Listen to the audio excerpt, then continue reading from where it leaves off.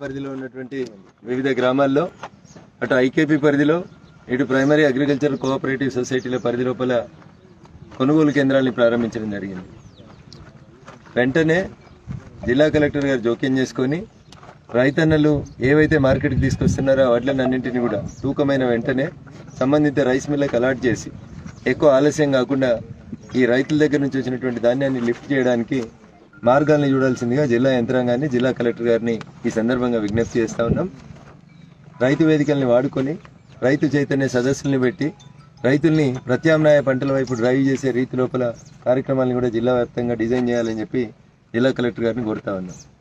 Collector ఆఫీస్లోనే కూర్చొని ఎవరో నలుగురిని పిలుచుకొని నాలుగు మాటలు చెప్పి దాంట్లోంచి కొంత బెదిరించినట్టు బయటికి రావడం వల్ల మెసేజ్ రైతులు ఆందోళనకు గురవుతా ఉన్నారు. రాష్ట్ర హైకోర్టు నిన్న మీ మీద కంటెంప్ట్ కింద కేసు నమోదు చేసినట్టు పేపర్లలో టీవీలలో వచ్చింది.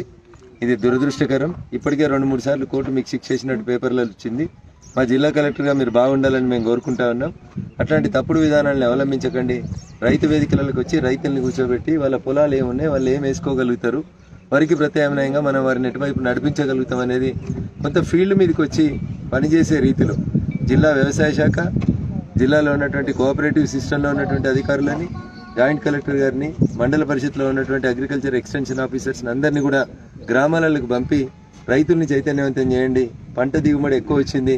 ఈసారి ఇబ్బంది అయితే రైతన్న కష్టానికి గురవుతాడు కాబట్టి దయచేసి జిల్లా కలెక్టర్ గారు రేపు పర్వదినం దీపావళి ముగిసిన తర్వాత మరుసటి రోజు నుంచి అన్న కల్లాలకు వచ్చినటువంటి సెంటర్లకు వచ్చినటువంటి ప్రతి గింజ కొనుగోలుకి వెంటనే ఏర్పాట్లు చేయాలని చెప్పి ఈ సందర్భంగా జిల్లా కలెక్టర్ గారికి విజ్ఞప్తి చేస్తూ రైతులు ఆందోళన చెందాల్సినటువంటి అవసరం లేదు. ప్రభుత్వం అయితే ఇక్కడక్కడ రకరకాలైనటువంటి స్టేట్మెంట్స్ ఇస్తా ఉంది. కానీ కొంటారనేటువంటి విశ్వాసం నాకుంది. కొనకపోతే రాష్ట్ర ప్రభుత్వం మీద ఒత్తిడి తెచ్చి మన దగ్గర పండిన ప్రతి గింజను కొనిపించేటువంటి ప్రయత్నాల్ని మీ రైతుల పక్షాన మీ శాసనసభ్యునిగా ఖచ్చితంగా చేస్తానని చెప్పి ఈ సందర్భంగా తెలియజేస్తాను